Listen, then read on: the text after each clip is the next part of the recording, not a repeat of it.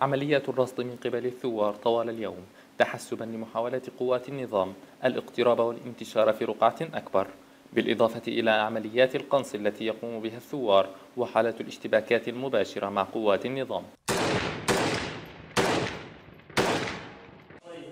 مرابطين هون لنقتحم المباني اللي في الراشدين اللي متمركز فيها قوات النظام وعناصر من حزب الله ومن إيران. وبعدها نتوجه للبحوث العلمية على مداخل حلب الجديده محاولات عديدة ومتكررة بشكل يومي من قبل طائرات النظام بالقصف على أماكن تواجد الثوار إلا أن المضادة الأرضية تحاول إسقاطها أو إبعادها على الأقل.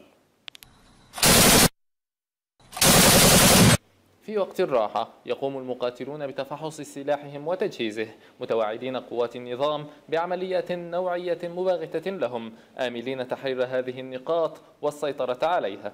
بسم الله الرحمن الرحيم. نحن أفراد كتيبة جنود الحق التابعة للواء أسود الحرب. نقوم بتنظيف السلاح لكي نتصدى للجيش الأسدي الغاشم ونتوعد له بضربات قوية بإذن الله تعالى. أوقات يخصصها الثوار يوميا لواجباتهم الدينية حيث أنهم يوقنون منذ بداية المعركة أن ناصرهم هو الله.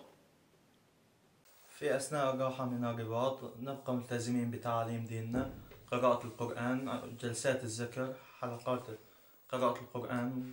متأكدين نحن النصر من عند الله بسلاحنا وبقرآننا وبديننا ومو من عند حدا تاني. ينضم إلينا من دمشق وريفها الناشط الإعلامي